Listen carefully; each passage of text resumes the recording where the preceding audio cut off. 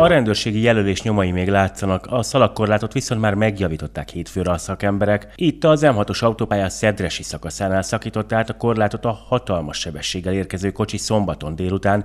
A járműben heten utaztak, úgy tudjuk ketten a csomagtartóban. Az egyik társhatóság munkatársai akartak ellenőrizni szombat délután az M6-os autópálya Fácánkerti pihenőjénél egy személygépkocsit. A jármű vezetője, mikor meglátta az egyenruhásokat, nem állt meg a jelzés ellenére, tovább hajtott. Úgy tudjuk, vám és pénzügyőrök elől menekült a sofőr.